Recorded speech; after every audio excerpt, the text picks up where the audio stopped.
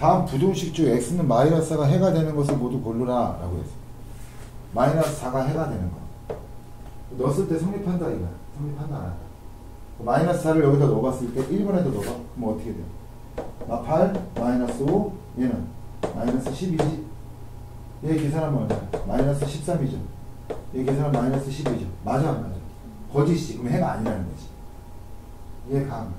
또 다른 풀이 방법이 이렇게 할 수도 있어요. 얘를 풀어봐 얘를 풀어봐 마이너스 x 이쪽으로 넘기고 8 이쪽으로 넘겨봐 이해하듯이 알겠어요? 어, 아직 부등식 선제 배우진 않았으니까 않았으니까 그럼 마이너스 8 넘, 8 넘어가면 마이너스 8 되지 이해하듯이 하면 그럼 좌변은 뭐나?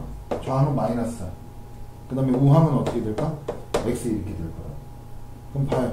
x라는 게 어떻게? x라고 하는 것이 마이너스 4보다는 작고 나갔다 그랬지?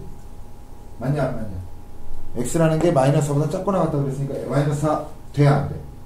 되지? 갖다도 되니까. 2번은 된다 안 된다? 된다 이렇게 판단할 수도 있다. 수직선을 그려서 이렇게 무슨 말인지 이해가? 근데 기본적으로 다 넣어서 하는 거야 넣어서. 일단 2번은 찾았네. 그럼 마사 넣어봅시다. 마사 내니까 어떻게? 마이너스 12, 마이너스 10, 마이너스 7이니까 마이너스 19 나오나? 마이너스 19래요. 자, 요거 마이너스 15래요. 참여가 거짓이야. 거짓이지. 이 해를 넣었더니만 거짓이 됐대. 해야 아니야. 해는 참이게 거잖아. 4번 해볼게. 마이너스 4 넣어봐. 그럼 얼마? 마이너스 2지? 이 정도 계산해야지. 플러스 2가 0보다 작대. 참여가 거짓이야.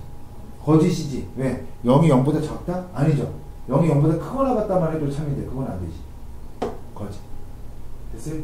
5번 마이너스 4 넣어볼까? 그럼 어떻게? 마이너스 2 플러스 5. 이건 플러스 4가 되게. 얘 3이지. 참이야 거짓이야. 참이지? 그럼 얘는 뭐가 된다? 해가 된다. 이거 이렇게 푸는 거야. 참 거짓을 구분해서. 이런 얘기가? 이해갔어?